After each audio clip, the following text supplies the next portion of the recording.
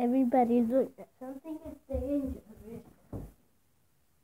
And, and I'm six years old. You I see I'm little and nothing to do.